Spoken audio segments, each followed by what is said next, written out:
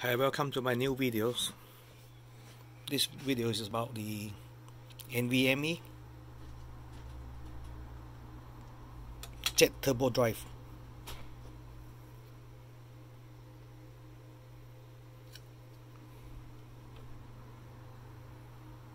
So this one here, we have the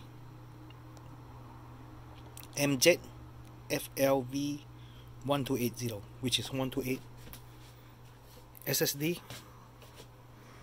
and as the guide you need to put on the fourth slot 1 2 3 4 so this is the one.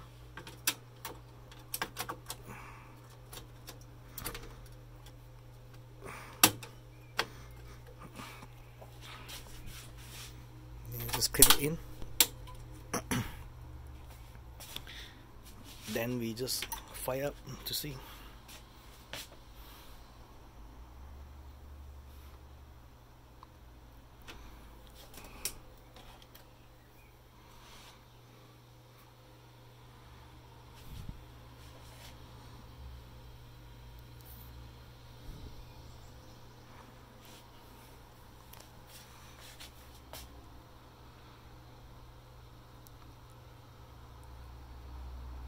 it doesn't need any driver. Um, I installed two of them already.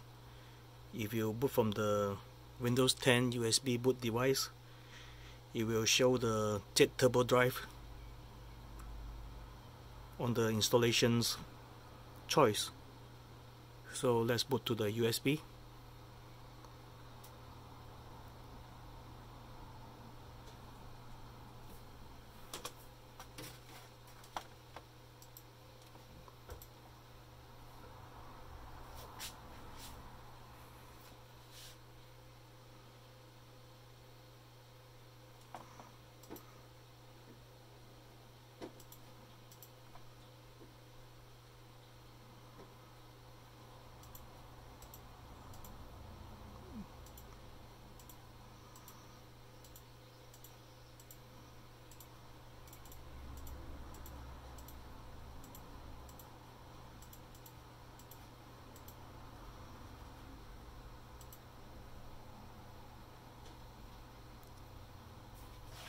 so it's pretty straightforward.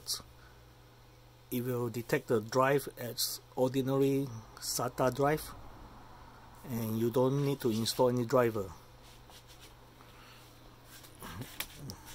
As for the Z440 machines Z640 um, and Jet 840 they share the same architecture.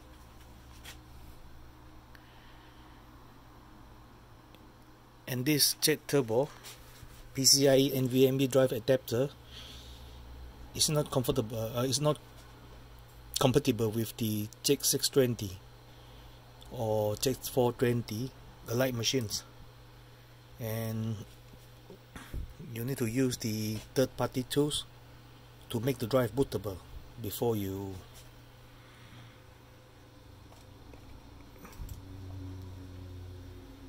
make the drive bootable and based on the video just now we don't have any hard drive here. And yes the installation will process and pretty much just show you how to install the PCIe Z Turbo Drive. And thank you for your watching. Bye